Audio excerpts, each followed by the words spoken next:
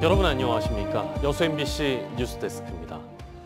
여순 사건 당시 집단 학살된 것으로 추정되는 유해 26구가 담양군에서 발굴 조사를 통해 모습을 드러냈습니다. 구례 국민보도연맹 사건 관련자로 추정되는데요. 이들의 넋을 기리는 봉안식과 발굴 사업 보, 최종 보고회가 열렸습니다. 유민호 기자입니다. 여순 사건 특별법 시행 후 이뤄진 첫 희생자 유해 발굴 조사.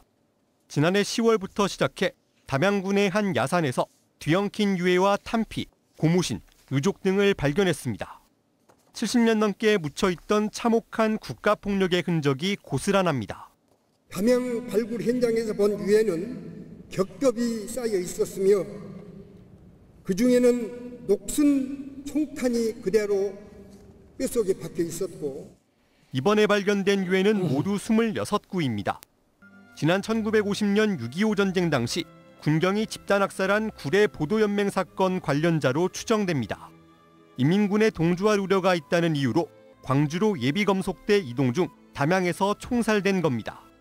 구례군 실내체육관에서 희생자의 넋을 기리는 봉안식과 발굴 사업 최종 보고회가 열렸습니다.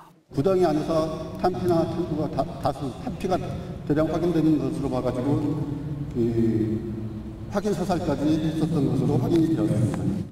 유해는 세종 추모의 집에 임시 안치됐습니다. 여순 사건위원회는 유해에 대한 유전자 감식과 추가 유해 발굴 사업도 이어갈 계획입니다. MBC 뉴스 유민호입니다.